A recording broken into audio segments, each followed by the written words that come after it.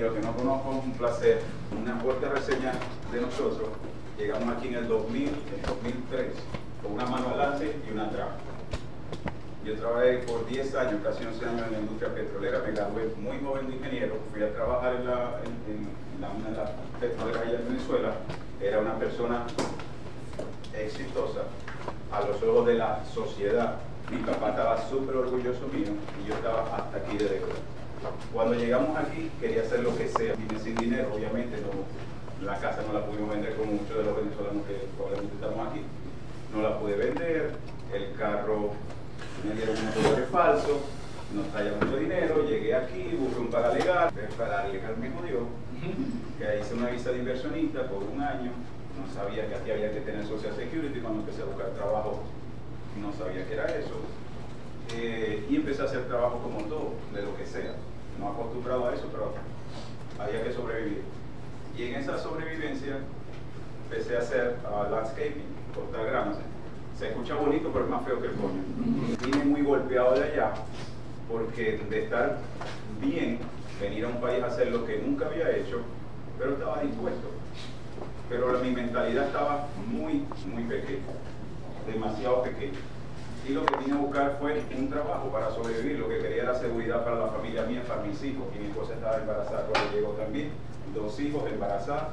Y Cuesta Rico, pues no conocía a nadie aquí. Llegamos aquí a Orlando y por cosas de la vida, un trabajo que conseguí en Miami, de pest control, fumigando. Mi puta vida había fumigado una cucaracha, una vaina, y ni entrenamiento ni nada. Entonces, lleno de puro químico, de pura vaina. Empecé a ver gente, y cuando empezaba a cortar la gama de la gente, empezaba a ver gente en las piscinas a las 2, 3 de la tarde, y yo, coño, ¿cómo coño? Yo aquí, y estos acostados ahí leyendo un libro, un martes, un miércoles a las 2 de la tarde, y yo tengo que trabajar para esto. Algo tiene que saber esa gente, o algo tiene que hacer esa gente que yo no sé.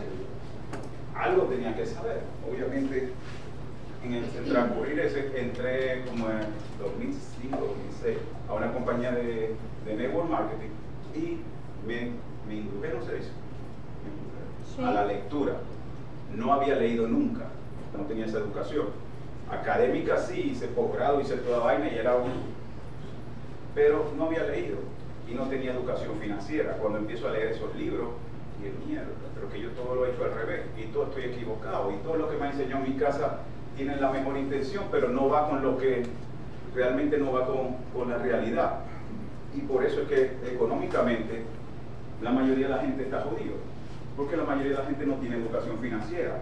Eso fue un aprendizaje que no tiene precio para mí. Le agradezco, voy a estar agradecido toda la vida con esa industria, que mucha gente no la entiende y no la conoce bien. Y para mí uno de los mejores negocios que hoy en día hay para que una gente se pueda desarrollar y pueda hacerse libre financieramente, que está muy rayado ese, ese, término, ese término, libre financieramente y todo, y pura paja y pura vaina, que el, la gente libre financieramente en un año, sí, bueno, no le eché bueno, en un año te vas a hacer libre financieramente. Pero la, lo más importante es la parte emocional, y es la parte que yo veo que carece la gente que empieza, este y cualquier negocio, pero en este negocio en particular, vas a tener que tener fortaleza mental. Aquí el trabajo no es con las manos, aquí el trabajo es con la cabeza, que es lo que realmente vale. El trabajo físico lo puede hacer cualquiera, pero esta parte, enfrentarte a los retos que, que da cualquier negocio, eso no lo hace cualquiera. Tiene que estar fuerte emocionalmente, porque la mayoría de la gente se va y dice, no, es que nadie quiere, nadie, nadie quiere, imagínate, nadie quiere. ¿Quién? Tu mamá, tu abuela, tu tía, tu primo, todos los negativos que te rodean. Esos son los que no quieren. No hay banco que me dé nada. No, que fuiste pago el Fargo Che y Banco of America y nadie, no es que nadie quiera nada. Es que coño, nada más intentaste tres veces. ¿Eh? Yo me acostumbré a network marketing a que no, no, no, se burlaba, no, no, no, se burlaba el amigo mío. ¿Cuánto estás haciendo en ese negocio? Sí, weón, Dios. No, no, no, no, no, no, no, no, no, no. ¡Pum! Di con uno. Coño, uno igualito a mí, vamos para adelante. No, no, no, no, no, no, no, ¡pum! Di con otro. Ahora vamos a entrenarnos, porque el secreto de esto es la educación. Esto no le va a funcionar a nadie si no hay continuidad educativa.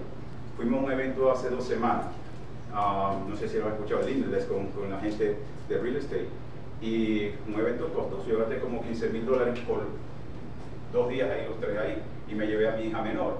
y mi hija menor está estudiando en Hawái, eh, negocio, no consiguió más ninguna universidad, sino que Santo ir allá, baratito.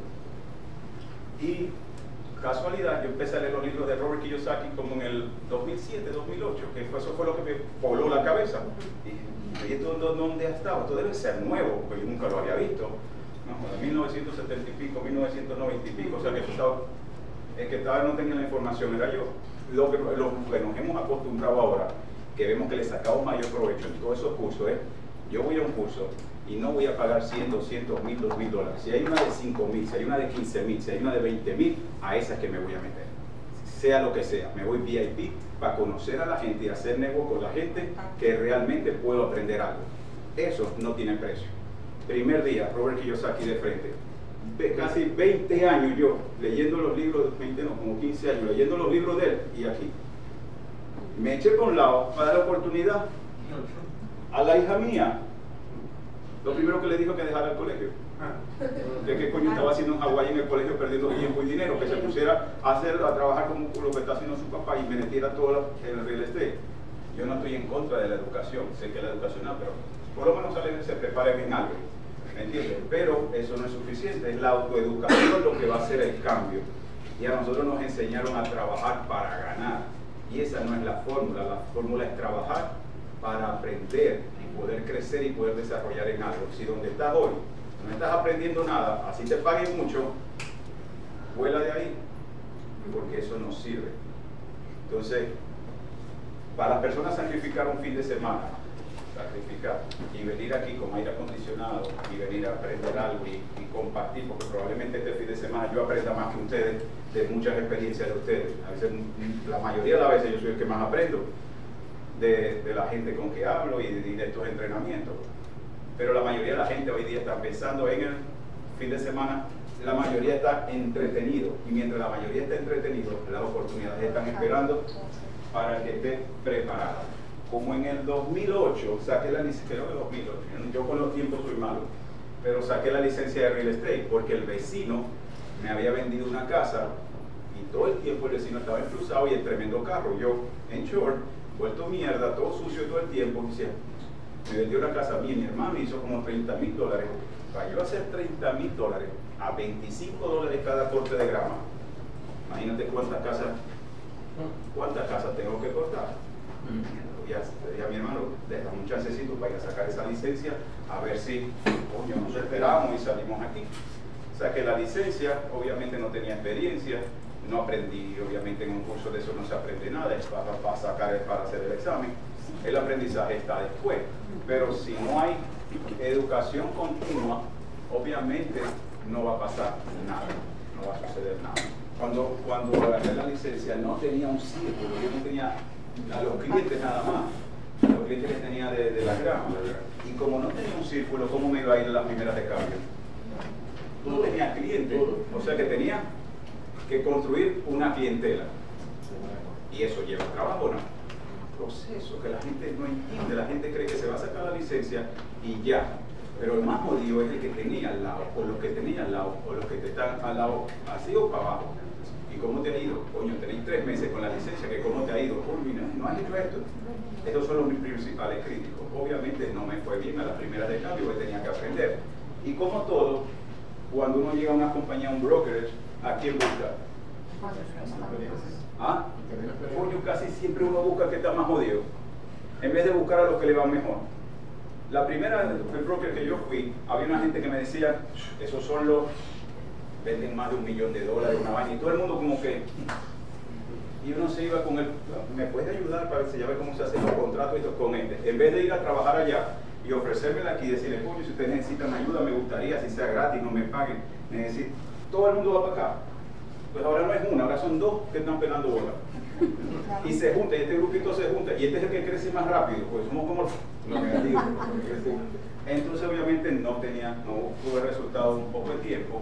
Eh, veía a la gente, tremenda camioneta, que había que llevar a los clientes, y que hice, ¿qué hace la mayoría? Me compré un buen carro, un carro bueno, ¿cuánto cuesta? Una buena camioneta, una buena para, para los clientes, sin producir nada. Son 700, 800 mil dólares mensuales no había hecho nada, ya estaba, me estaba vendiendo más gente. cuando empecé a leer, interpreté las cosas a mi manera. ¿A quién le ha pasado eso? Mi inglés todavía no es muy bueno. O sea que no hace falta inglés para esta mierda. Se le paga a alguien para que sepa inglés por uno. Si ese fuera el caso. He aprendido un poquito. La escucho hablando inglés jodido. Y todavía tengo demasiado acento. Pero me sabe a mierda ahora porque entendí que no le voy a parábola a nadie. A nadie. Y ese es el, principal problema de la gente, que le para volar todo lo que dice la gente. Y ya no, eso no existe. No tengo límite porque nada me importa de la gente. Si hay una gente que yo le importo, yo también voy a estar con él. Y vamos a hacer negocio y vamos a hacer cosas. Pero para la gente que la mayoría que está negativa, que lo que te viene es echar un cerro de mierda en tu casa, esa gente no es de mi círculo. Mi círculo es demasiado cerrado porque lo protejo mucho a mi familia y yo no, no necesito gente negativa. Necesito gente que venga a empujar y a entender que esto se trata de resolver problemas, pero con una mentalidad diferente a la mayoría. Si yo cojo esa, me pierdo de vista, porque lo que tengo que ser un poquito, no más inteligente, porque yo no soy más inteligente que mucha gente, lo que sí estoy un poquito más preparado que él. Como aquí, aquí sueltan un tigre que corre más rápido que se salva. Lo que tengo que correr más rápido que este, por lo menos para salvarme. Entonces los libros te van cambiando, porque un libro que me lea y él no lea nada, está en su vaina, en su mismo círculo, ya yo otro libro, me va poniendo. El problema es que lo estaba interpretando a mi manera. Y empecé a leer un libro de, de Kiyosaki, de, de, Padre Rico, Padre Pobre. ¿Y qué dice ese libro? ¿Qué dice ese libro? Que la mayoría de la sociedad te enseña a, a trabajar para los demás. El consejo que los padres. Lo que se, lo que no depender, obviamente no depender de un trabajo, no depender de un ahorro, no depender de una seguridad social, sino criarlo, ¿verdad? Y trabajar en función de construir algo. Lo otro que yo interpreté de ahí es que las ganancias de capital es lo peor. Es, son ganancias de capital. Yo compro y vendo. ¿Qué crea eso? Una ganancia de capital. Eso es lo que paga alto, altas tasas de, impuestos. Y yo lo interpreté así como, como él mismo lo estaba diciendo, pero a mi nivel. No tenía lo que ahora tengo, mentores que me ayudan a interpretar cosas que yo no entiendo todavía bien y que tienen la experiencia que yo no tengo. O sea que el juego aquí es conectarse con gente que sepa más de uno y tener la humildad de poder aprender de esa gente o de mucha gente que está alrededor tuyo o que puede estar alrededor tuyo que te aporte. Lo otro es que te quite el ego de encima. Han escuchado gente que dice, yo fui, yo era, yo tenía, yo, venga, todo está Yo quiero hablar con gente y tener al lado mío gente que me diga, yo voy, vamos, esto es lo que voy a hacer, estos son los pensamientos, son los sueños que yo tengo, estas son las acciones que estoy haciendo, esto es lo que voy a hacer, esto, no allá atrás, allá atrás ya pasó, ya no hay remedio. Si lo hiciste bien o mal, ya eso pasó, ahora lo que importa es lo que viene aquí. Entonces empecé a comprar, como decían los libros, comprarte una casita de, renta y la tenía a mediano o largo plazo, la refinancio y vuelvo a comprar otra. Y así voy. Si eso lo, lo, hiciera cualquier persona trabajando donde sea, en un tiempo, 10 años, 15 años, 20 años, 30 años, hacen un buen retiro y hacen un, buen, un buen patrimonio. Pero la mayoría no tiene el hábito ni la disciplina para hacerlo. Entonces lo empecé a hacer así. Pero había un problema. No tenía crédito, el crédito lo tenía muy malo.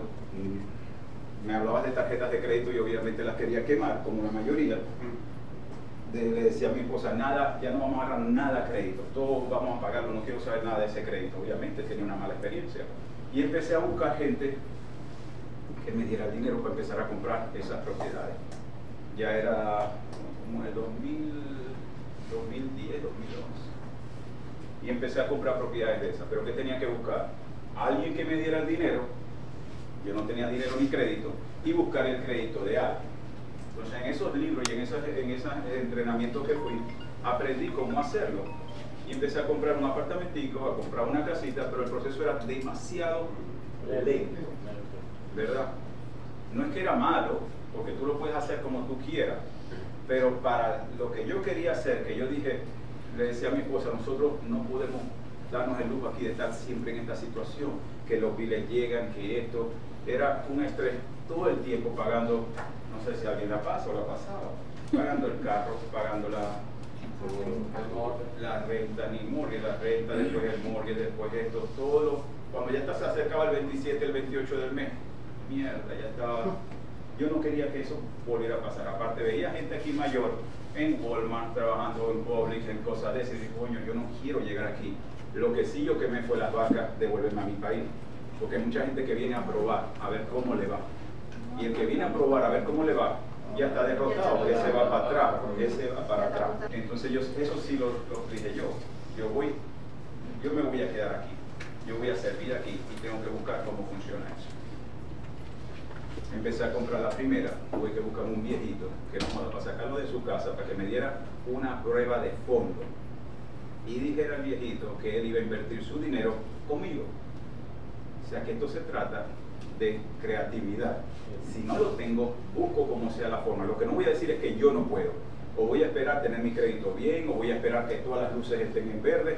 Eso no va a suceder. Donde yo esté, voy a buscar la forma cómo hacer el negocio o lo que vaya a hacer.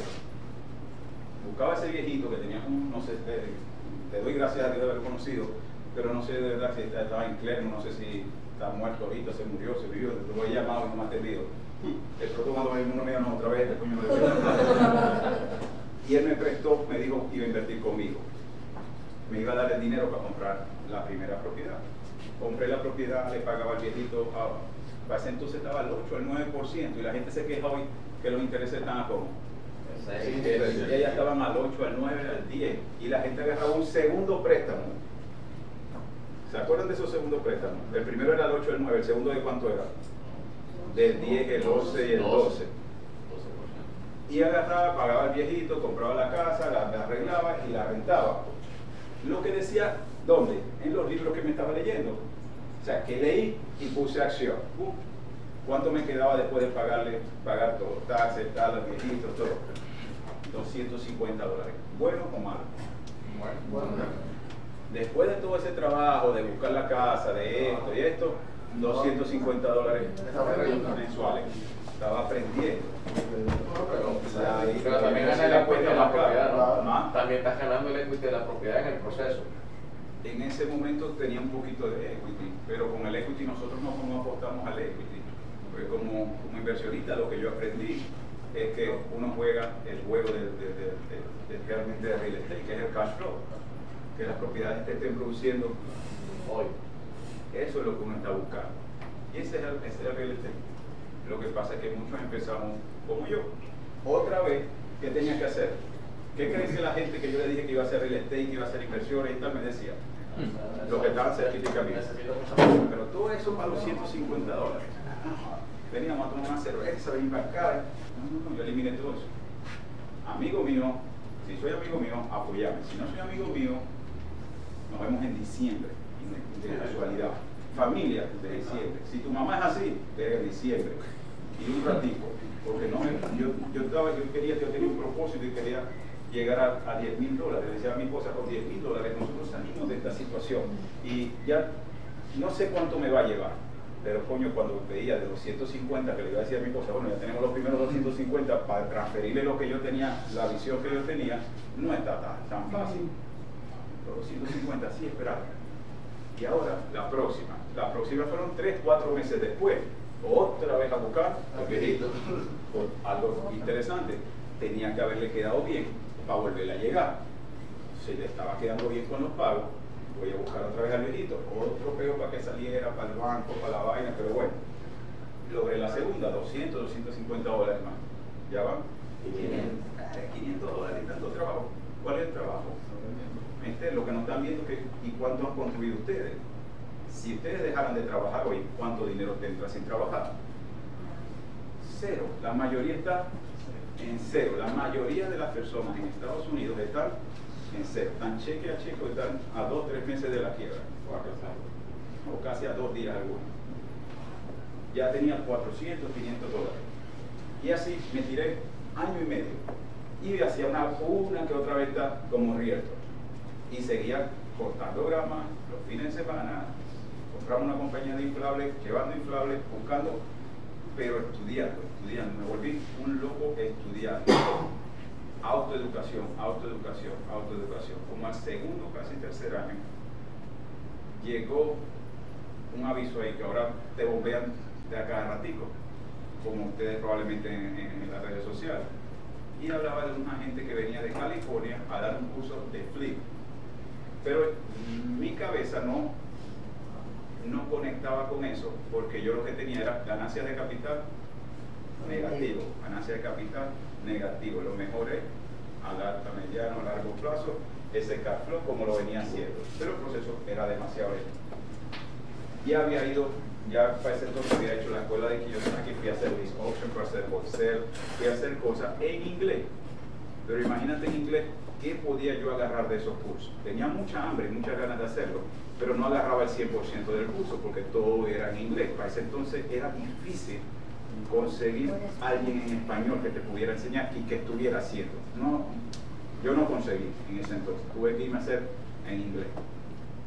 Hice esos cursos, me endeudé con esos cursos, con una amiga súper negativa, que esto, que esto, le dije, coge la tarjeta que yo te pago, papá, hice mi curso y ahí aprendí a hacer bolsel, aprendí a hacer unas cositas que me empezaron a levantar. En ese, la charla de, de Flip dije, me voy con mi esposa porque ella no me va a echar.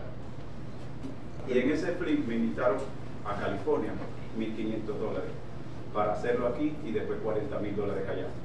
Fui a ese curso de 40 mil dólares allá y me enteré que había gente que necesitaba, necesitaba, tenía dinero y había otros como yo que necesitábamos que lo que queríamos era trabajar, pero esta gente tenía dinero. Yo dije, voy a, voy a hacer, voy a, voy a ver toda la información de esta gente. Y cuando llegué aquí, me puse a hacer los free ¿Qué, ¿Cuál era lo que yo no había aprendido allá? Que probablemente me lo dieron en el curso de, de Kiyosaki, pero no lo había agarrado, que había en Harmony Lender. Yo no sabía de Harmony Lender. Pues tuve que venir a buscar aquí. Tampoco me dijeron, anda vete con, ¿cómo es tu nombre? Anda vete con Cristian. Me dijeron, hay Harmony Lender. Cuando llego a averiguar los Harmony Lender, que hago Google en Harmony Lender, ¿cuántos hay? Miles, perdido. No necesitaba realmente tanto el viejito, me ayudó. había muchos Harmony Lender. Cuando empecé a hacer, a hacer flip y a hacer wholesale, ahí fue que empecé a capitalizar, pero yo estaba enemigo de la capitalización, porque generaba impuestos, pero ¿qué me importaba si me generaba impuestos si iba a ganar más dinero? ¿Verdad? Entonces, Allá me explicaron algo bien sencillo, comprate cuatro, a cuatro casas, sencillo, o sea, el curso fue al, cuatro casas de renta, cuatro casas de, de flip y una de renta, cuatro y una, cuatro y una. Y así empecé, y empecé a hacer bolsel, y empecé a hacer cosas, y empecé a hacer cosas que la gente aquí decía, en la compañía que estaba de riesgo, que eso no se podía hacer. ¿Cómo, cómo, cómo eh, para que me entendí, que te compraran cuatro de flip? Yo compraba cuatro flip, hacía cuatro flip, capitalizaba un dinero y me quedaba con una propiedad. ¿Qué pasa? Que después empecé a leer y empecé a aprender cómo despreciar, cómo no pagar impuestos legalmente. Y parte de eso nos lo enseñaron. Yo pero es que ahí está la clave. Si yo capitalizo y no tengo que pagar impuestos, la hago pero yo necesitaba era capitalizar para darle velocidad al dinero. De la forma como yo iba, no estaba mal, pero iba a ser demasiado tiempo para lo que estaba buscando. Por eso que aquí hay diferentes tipos de personas. Hay gente que tiene suficiente ingreso que capitalizar probablemente no, no va a ser tu negocio, va a ser rentar. Y hay gente que necesita un ingreso para capitalizar. Aquí estoy seguro que va a salir gente y va a salir gente que vino con una mentalidad y va a salir con otra, con otra cosa diferente. Pero al final del juego, la partida es que tú crees esos, esos activos que te produzcan ese cash flow y que te dé tranquilidad. ¿En cuánto tiempo? Hoy uno es el que le pone el tiempo. El objetivo yo lo logré en dos años y medio. De verdad, de verdad, yo no, no pensaba llegar a eso tan rápido. Pero a 10 mil dólares, pero estaba hambriento. Puse mucho trabajo. Vea que fui brillante, no, fui brillante trabajando, pero también tuve una ayuda. Y la ayuda fue que el mercado siempre ha estado. No vi lo que está pasando ahorita, por lo que pasó ahorita. Siempre vi. Entonces me ayudó muchísimo y todo lo que aprendí, refinanciaba, sacaba dinero, compraba más, me daba la ganancia y fui muy disciplinado en no meterme en deudas malas. No, yo vendía, vendía bastante, vendía cuatro por decirte, vendía cuatro, pero a los dos años con las que me fui quedando, la refinanciaba y le sacaba ese equity, pero la mayoría de la gente sacaba ese equity para qué? Para, otras cosas. La idea es, coño, reinvertirlo. Comprate uno, comprate dos, comprate tres, comprate cuatro. Entonces me fui apalancando. Ana, disculpa, el racional de, de, 4 por 1 en el FILTE, el puesto 4, tú vas sacando, por decir, cada fin te quedaron 50 mil dólares, por decir algo. Estoy poniendo un número de otro, sé que puede ser 20, 16 mil dólares. Ponte que esos 20 mil dólares por 4 FIL son 80. Entonces tú te quedas, tú decides que te vas a quedar con una, que es la que vas a tener para la renta. Esa es la que vas a depreciar para apalancar esos 80 para no pagar los impuestos. no pagar impuestos. Depende, porque depende, tienes que hacer un balance, depende de lo que me dé eso. Por ejemplo, y eso lo vamos a ver más en profundidad ahora, porque es una de las cosas más importantes y de las cosas para la gente. Ahora, este año, el gobierno que estaba, podía depreciar el 100% el primer año de algunas cosas de las casas, a partir de este año, el gobierno la bajó al 80. Y el año que viene 60 y el otro 40. Ojalá Dios quiera, yo no soy político, no, pero no me conviene eso.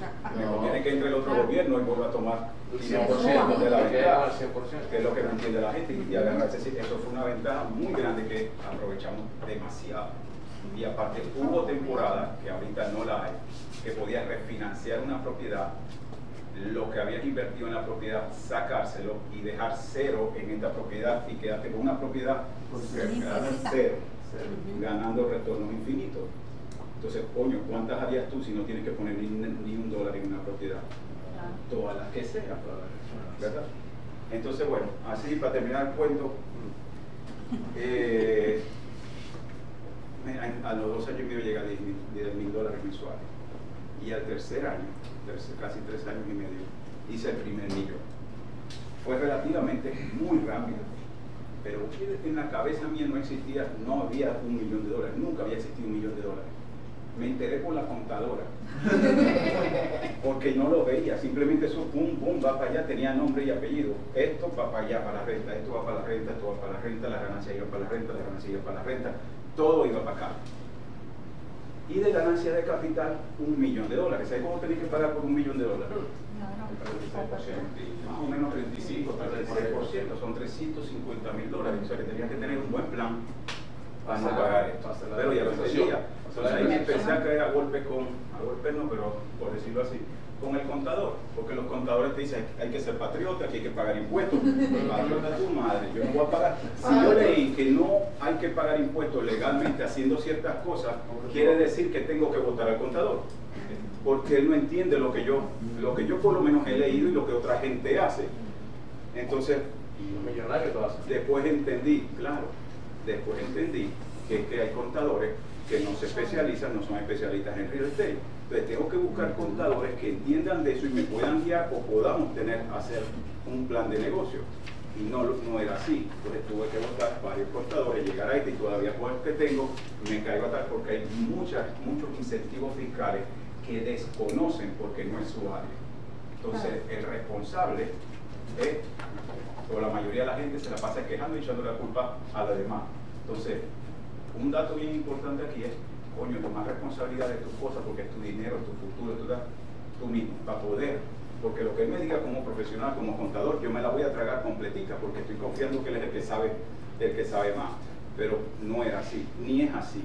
La mayoría de los, de los contadores de este tema no saben. Entonces, vas, de pronto después que salgas de aquí vas a, vas, vas a pelear con tu contador o te vas a dar cuenta de muchas cosas. Yo fui a un entrenamiento en Dallas, Texas. Y uno de los tipos que decía que el, objetivo de él era ganarse, un, eh, pagar un millón de dólares en impuestos. Y el tipo ya tenía tiempo haciendo buen dinero. Ya prácticamente había hecho multimillonario. No, multimillonario, porque un millón de dólares no eres millonario. Un millón de dólares no es mucho. a hoy en día, porque ya, ya un millón de dólares son 500 mil dólares de hace, de cuando era un millón. Ya un millón de dólares hacerlo ahorita tampoco es que pues, le pone el número. Pero ese, esa persona, después que fui a, lo, a la otra la parte del entrenamiento, explicó la ignorancia en que estaba metido. Porque él no sabía de esto de las depreciaciones, el contador de él nunca está aquí, se le habían ido un poco de dinero en eso. Entonces, en ese plan que hemos estado, terminamos la, empezamos con los flips en el 2014, hicimos muchos flips, muchos flips los míos no eran como la televisión y las vainas esas que eran 50 mil y 100 mil dólares por flip. No. Los míos eran de 10, 15 mil, 20 mil, cuanto más. Eh, más la comisión, obviamente mucha gente dice, pero saco la licencia. Bueno, las licencias tienen una parte positiva y una parte negativa. La parte positiva es que tengo acceso a la información inmediata inmediato, no tengo que esperar el fin de semana, porque si llamas ahorita un este fin de semana, ¿cómo es que, te va a decir? Muy difícil que lo vas a conseguir o que te vayan a poner una oferta el día de hoy. Entonces tengo directo. La parte mala o negativa es que tengo que hacer disclosure cada vez que voy a comprar o voy a vender algo que yo soy riesgo. Entonces cuando le someto una, una oferta a José y él se entera que yo soy realtor y le, le doy una oferta de la casa de no sé cuánto monto, dice, coño, pero este, este me está porque él sabe cómo es la vaina. Esa es la única desventaja que tengo con Si Cristian y yo estamos metiendo la misma oferta, pues estamos metiendo la vaina que él sabe que yo, yo soy abierto y yo debería saber de, de este tema. Entonces, pero si lo haces a través de una LLC no tienes que hacer disclosure. Siempre tengo que hacer disclosure, siempre siempre de todo lo que compro, de todo lo que vendo. Una de las cosas, una de las cosas que aprendí a hacer en eso y aprendí esos cursos es que yo como realtor, yo podía meter ofertas en el ML como a una compañía. Mucha gente decía que esto no se podía hacer. Ojo, ¿cuánta gente llegó, llegó aquí a, la Florida a querer invertir aquí? Y todavía muchísima, ¿verdad? ¿Cuál es el modo operandi de un realtor cuando recibe un inversionista de afuera? un inversionista que viene aquí, que le dice que quiere, la mayoría quiere hacer flip o quiere comprar casa para, para arreglar y, y, para también ahora. ¿Cuál es el modo operandi del realtor? primero, que, quiere ok, hace la historia tal, y qué va a hacer el realtor después. Le empieza a buscar casa, ¿verdad? Y le empieza a buscar casa y, la, y consigue una, le consigue una cristiana. ¿A nombre de quién la coloca? La oferta. A nombre de Cristian o a la compañía de Cristian. ¿Cuánto se gana el riesgo? 3%, 2.5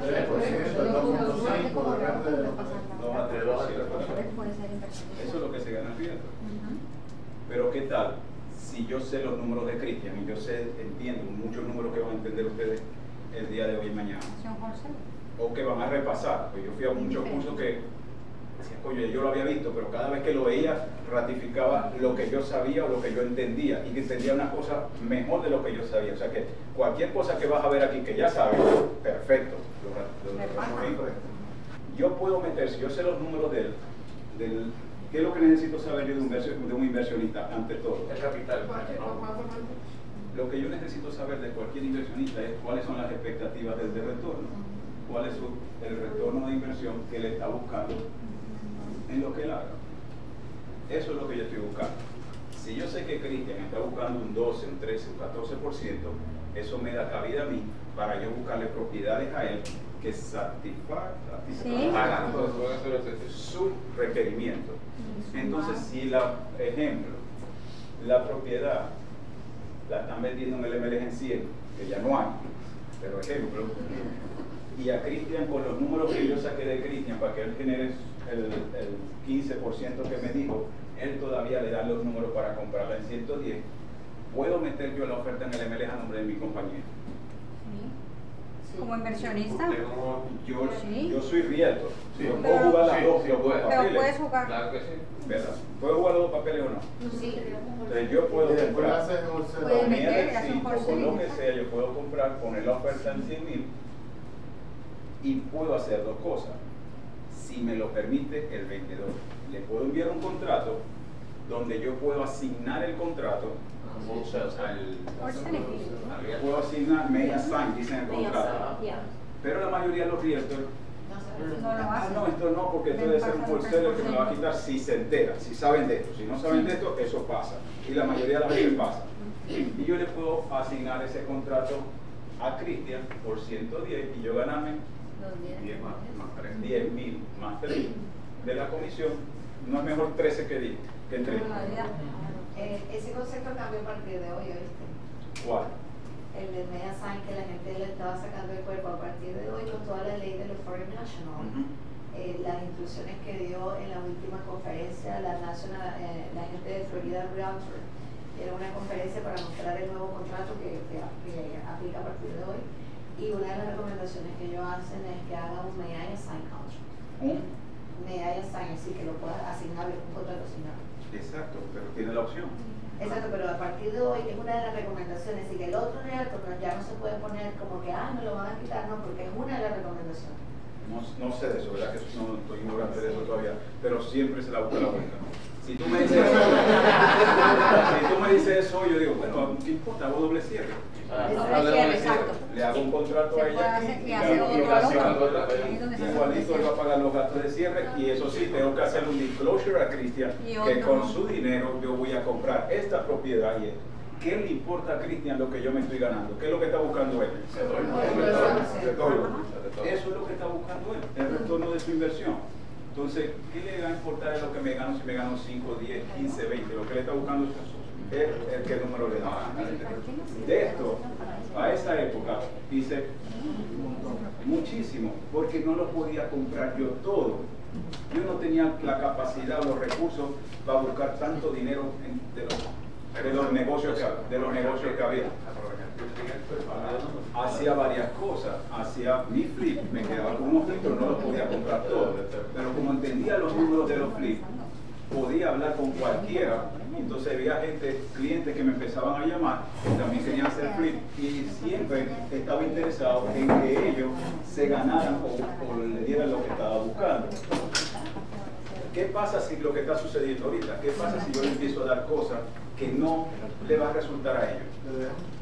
No me van a buscar, no buscar más. Entonces la mejor picardía es darle a la gente realmente lo que necesitaba. Hoy en día está demasiado fácil esto demasiado fácil, porque hay demasiada gente buscando lo fácil. ¿Y qué es lo fácil? Comprar una casa a, un wholesaler y hacer un flip. Todos creen que pueden hacer un flip. Esa es la moda.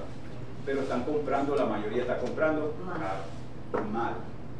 Y ahora, en un mercado casi lineal que tenemos hoy en día, es difícil comprando mal que te vaya bien y especialmente con los intereses que tenemos ahora, que cuando vas a refinanciar, probablemente está tabla, tabla. Y la mayoría de esos flippers, que son flippers nuevos, no calculan y no analizan la parte de la renta, porque la mentalidad de ellos está en vender. Entonces, como les he dicho, mucho que he hablado de ustedes, yo les puedo ofrecer o, el que les ofrezca un negocio de construcción o de flip que te dé 100 mil dólares, 50 mil dólares y esté ahí la ganancia, si tú haces el análisis de la renta y eso no te dan los números, yo no voy a hacer, yo particularmente, no recomiendo hacer este negocio. Porque la defensa de nosotros es la renta. Yo, gracias a Dios, hasta el día de hoy no he perdido dinero en esto y he hecho unos cuantos. No he perdido porque he decidido rentarlas cuando no, no tengo nada en la parte de la venta. ¿Me he tenido que quedar casas que no he querido? Sí, hubo muchas casas que no estaban en mis planes quedarme con ellas. Pero no las pude vender, se me vencía el préstamo, tenía que hacer algo. Y la salida mía siempre es la renta. ¿Y no tienes un límite cuando vas a refinanciar, que no te prestan para poderlo refinanciar? El límite de tiempo. en el sentido de que a lo mejor no tiene la garantía suficiente para poder cubrirlo o siempre busca que lo cubra la renta. Y esa es la garantía para, para el refinanciamiento. Te va a dar un refinanciamiento y eso el lender no, no te, realmente no te califican a ti. Es lo, lo bueno del, del, del, negocio. Es que no lo califican a uno, califican el la negocio. el pago. Si el negocio no, no funciona, te van a hacer un favor porque no te van a dar el préstamo, porque el negocio no hace sentido. Y esos flippers que estaban comprando, esos flippers que estaban comprando, estaban comprando con proyecciones, que esto va a costar, no que está costando. Y nosotros no sacamos los números con lo que vaya a costar, nosotros sacamos los números con lo que está costando ahorita. ¿Tenemos una, una, una bola mágica? No. Pueden pasar muchas cosas. Puede subir y puede bajar de aquí a que tú termines los flips. En el papel deberían ser algo rápido. Yo cierro un flip hoy, mañana le estoy cayendo con toda la, contra, con toda la cuadrilla a repararlo. Para repararlo lo más rápido posible, en 10, 15 días reparar eso. Y colocarlo a la venta lo más rápido posible. Esa es la, la idea. En dos meses, tres meses, un mercado no cambia tan rápido, a menos que haya fluctuaciones tan bruscas como hubo en, los años que no era normal. Pero un mercado como el de ahorita es prácticamente lineal. En 3, 4 meses no te va a subir. O sea que yo lo puedo comprar, como está comprando mucha gente, con que va a costar 10 mil más, 15 mil más cuando yo las arregle. Cuando tú las arregles, este es el valor de hoy. Punto. Eso no. Si el mercado me regala un poquito, lo voy a tomar, pero no está en mi número, eso es aparte, ¿verdad? Entonces, hay términos que yo tengo que conocer dentro de esto para poder hablar con propiedad con muchas con, con los inversionistas. Una pregunta, ¿cuánto es el tiempo, eh, cuando tú haces el, análisis de, renta y, ya haces cuánto tiempo de, crees tú que es el, adecuado para ya tomar la decisión de que voy a rentar porque no voy a vender la casa? hay diferentes factores, por lo menos ahorita en la construcción. En New Construction. Eh, la construcción te da un préstamo de construcción de un año. Pero puedes hacer extensiones, pero obviamente las extensiones te van a costar te van a costar dinero, un punto, medio punto, depende del lente. Y hay cierto número de extensiones que te van a dar. Hay lentes que te dan tres meses, seis meses, nueve meses. Por eso es que tengo que aprender a hablar bien con los lenders en el lenguaje de, ellos y leer bien la letra pequeña y aclarar con ellos cuánto es la, duración de ese préstamo y hasta cuántas veces lo puedo extender y que me lo coloquen por escrito. Por escrito. Eso es lo que yo necesito saber y necesito ver en ese contrato. ¿Verdad? ¿Qué pasa? Que a veces, hace año y medio, dos años, tú podías comprar. yo hacía los préstamos, compraba el terreno compraba el terreno y ahí mismo compraba el terreno, el día del cierre cerraba terreno y préstamo. Porque los permisos se tardaban un mes, dos meses, tres meses ya. Y este permiso, eso era por un año. O sea que me daba tiempo de sacar el permiso, construir y vender. Cuando esto cambió, que se empezó a tardar esto cuatro, cinco, seis meses, a la vaina, me empezó a comer el, no el dinero, me empezó a comer el tiempo. El tiempo el banco. Entonces hubo mucho que tuve que cancelar los préstamos, perder, perder lo que había pagado en gasto de cierre y hacer otro préstamo con otro lender que me diera mejores términos que el original. ¿Qué otra cosa me puede pasar? Que ese tiempo se me expire, no he vendido la casa, tengan que ir a, refinanciar para rentar. Yo ahorita tengo varias casas que se tardaron demasiado en los permisos y entré más o menos en ese caso y pedí una extensión, dos extensiones. Hubo problemas, por lo menos en Porchalo hubo muchos problemas con el huracán. Se pasó cuatro meses el condado tal, más todo lo que se tardaron los permisos. Cuando en enero ya dijimos que ya vamos a meterle, pero a full, vino FIMA y cambió unas regulaciones y ya teníamos permisos aprobados y todo. Dice el FIMA ahora, bueno, ahora las elevaciones tienen que subirle un pie y ya tenía todo el permiso aprobado. Ahora tenemos nosotros 200, 300 casas entre todos nosotros que estamos haciendo. Ahora todos vamos para el condado a cambiar, a que nos cambien las elevaciones y a cambiar los planos y cambiar. Esto se pone, se saturó el condado, no tiene suficiente gente, un mes, dos meses, tres meses esperando, había confusión entre ellos que no sabían porque no estaba claro bien lo de FIMA, que habían permisos que estaban con una elevación, FIMA venía con otra, uno, te decía que sí, que se podía, otro decía que no, que había que los permisos que habían aprobado antes de diciembre sí servían, otros te, no. Y uno con el temor, yo no voy a seguir adelantando esto porque si subo la casa y después me dicen que tengo que cambiar la elevación, ¿qué hago? Entonces preferimos esperar dos meses, tres meses en aclarar todas las casas casa que tuviera la elevación correcta para empezar a arrancar. En eso, este no me dice, te voy a pausar el préstamo. Eso está corriendo el tiempo. Entonces ahora estoy apretado con algunas propiedades que tengo que salir a rentar. Ah, ¿Dónde lo compraste antes? Sí, lo que lo compré hace un año. Ok. Pero todo el proceso ha sido O sea, demasiado. pues, sí, sí, que cuando cierras el préstamo, que ya tienes el permiso. Eso lo Ahora mismo, ahora mismo, de la forma como lo estamos haciendo es, compro el terreno, hago toda la permisología, cuando tengo el permiso aprobado, lo voy a tener, cierro el préstamo. Intereses. Porque el préstamo no te va a dar, esta gente no te va a dar dinero adelante, esta gente te va a dar dinero cuando tú construyas algo. ¿Estamos claros ahí? Con la segunda, ¿no? Entonces hay términos que debo conocer. O sea que se está demorando más un año, ah, ¿verdad? O sea, que la hora ya esté adelantada, no solamente que tenga el terreno. Ahorita nosotros estamos logrando bajar los tiempos a un año. No, no, me refiero, cuando te dan el préstamo ya tienes que tener la obra andando o solamente aprobado el... el- Puede estar aprobado el permiso. Y algunos lenders se están cuidando también y no te están cerrando el préstamo si el permiso no está aprobado. Que para mí es bueno para, para ambas partes, porque nos cuidan a nosotros también. Tengo que saber términos aquí, ¿verdad? Ah, ah, ella- After, after repair. Esto es un término que se utiliza en los flips, ¿verdad? Pero hay mucha gente dentro de las construcciones y lenders que lo utilizan. Como que es el precio que va a costar la casa cuando esté lista. Cuando esté construida. Que realmente no es after repair porque yo no estoy reparando, yo estoy construyendo. La nueva construcción. Entonces eso debería ser market value, ¿verdad? Entonces estos dos, allá afuera, es lo mismo. ¿Qué pasa? Que los, los, los lenders te dan basado, los préstamos te lo dan basado en esto. Pero ellos ahora colocan una contingencia. Que dicen, yo te voy a dar hasta un porcentaje de esto. Hasta ahí te voy a llegar. Entonces te ponen Un tope, un tope. un tope. Y te dice, yo te voy a dar 70, 75% del LTC. Que el LTC es el loan to cost. ¿Verdad? Y esto es lo que te costó el terreno, el costo del terreno, más tus costos de construcción. Eso por un porcentaje. Te dice, yo te voy a dar el 70-75% del loan to cost hasta o no más del 75% del ARV o del market value de la propiedad. ¿Se entiende ahí?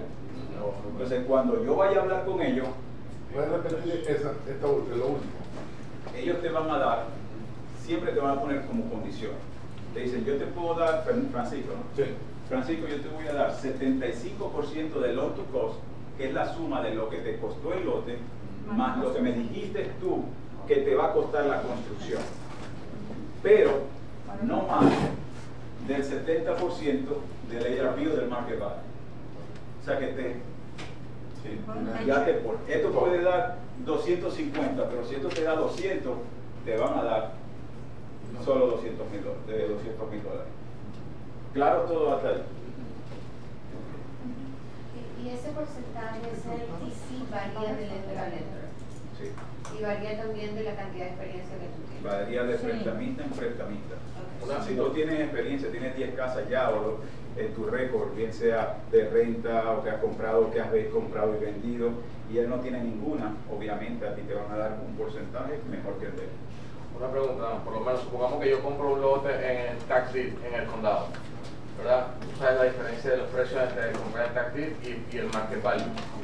El prestamista en este caso me va a tomar, porque como está en los récords públicos el, el precio cual yo compré el, el lote, ellos me van a tomar en cuenta el market value o el, o el assessment de cuando yo compré el, eh, con el condado. Eso es una buena pregunta para cada lente.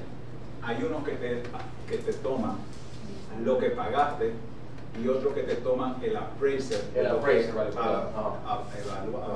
evaluar el terreno. Ujú. Ahorita te traigo un caso de un terreno que yo compré en 80 mil dólares y ellos dicen que eso cuesta 60. Y no me quieren dar más de, aquí no me quieren asumir más de, de, 60 mil dólares. Entonces, ok. Fíjate, entonces yo le subo los costos de construcción. Todo tiene su lugar. Claro. Ya, ya. Te repito, más, la, más la creatividad y la vaina que otra cosa aquí. Por eso es la cabeza, no las manos, la cabeza. Porque mayormente yo De allá atrás no se ve, ¿verdad? con el, el. Ok. Necesito saber qué es esto. Esto es lo que Y este que está el retorno de la inversión. El retorno de la inversión realmente es lo que la ganancia que tenga, el profit que tenga, dividido entre el dinero que yo invertí. ¿Cuánto es el tuyo, Adán? ¿De qué? Tu. Mi retorno. Depende en qué. En sí, por ejemplo. ¿Cuánto es tu Yo, ahorita, yo me movería todavía teniendo retornos del 20%. Eso es lo, hasta ahí yo llegaría en la construcción. El día que no haga 20%, para la construcción. en sí. Esto es para nueva, con- hablando de nuevas construcciones, ¿correcto? Y de free también. También. ¿Dónde hago 20% allá afuera? Bueno, el banco uno, el uno si acaso. Banco no te da nada. ¿Cuánto te da tu 401k? ¿Cuánto te da una cosa? Dos, tres, tres punto cinco. Chequeado. Entonces, eh, lo- ahí, ahí yo llegaría. O sea, eh, pero mis números no, no necesariamente son los números tuyos. ¿Verdad? Hace año y medio, dos años, estábamos haciéndole al dinero nuestro, porque ahí hay mucha confusión. Al dinero nuestro le hacíamos 100, 120, 150%. Sí, en el caso que realmente fuera nuestro. Realmente no es nuestro dinero. No, es dinero de inversionista privado.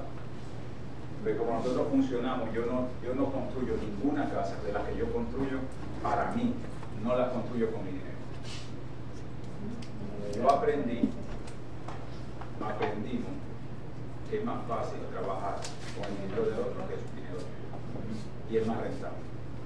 Entonces, como yo estaba, como dicen los dominicanos, que dicen ustedes, nosotros decimos jodido, quebrado, es lo, es lo mismo, es la misma vaina.